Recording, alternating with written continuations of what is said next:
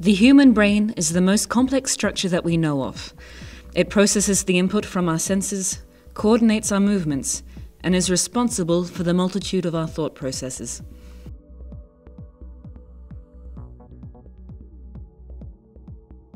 At the basis of all our brain's abilities lies the activity of single nerve cells. Finding out the rules of their interplay is the goal of computational neuroscience.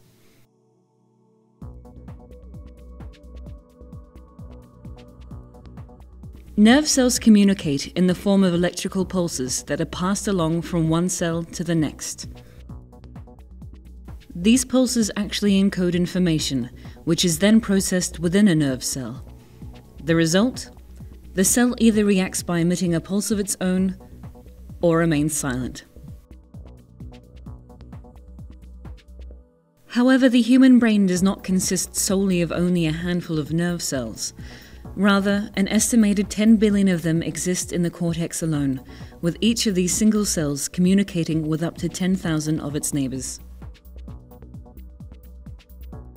The question is, therefore, how can we investigate and describe these processes in a scientific way? And how does the activity at the cell level relate to what we eventually perceive as the brain's abilities or dysfunctions?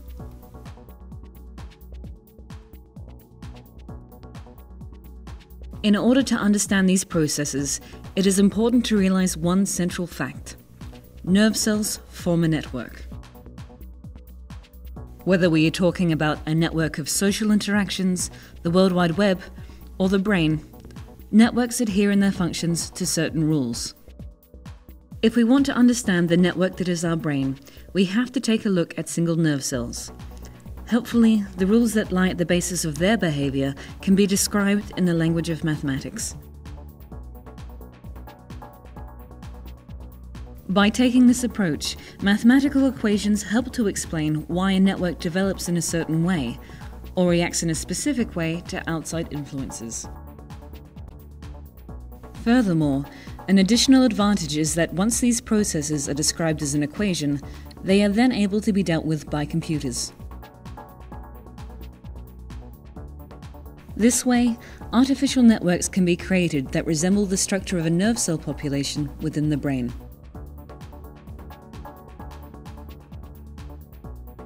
Today, computers have become powerful enough to provide realistic simulations of neuronal networks and help to understand phenomena that was observed in experiments.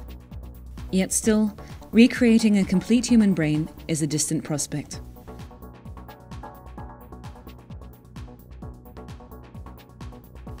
The results of these computer simulations can be compared to insights that neuroscientists have found in their investigation of real brains.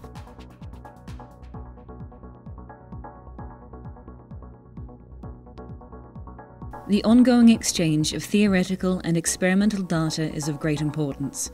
It ensures that the abstract models are consistent with reality. Describing the brain's processes by using mathematics and running simulations of networks and computers aids our understanding of how billions of nerve cells cooperate, and how this results in the processing of input from our senses, the coordination of body movements, and the ability to think. This increased understanding will also help us to find causes for certain dysfunctions of the brain. These are the principal goals of computational neuroscience.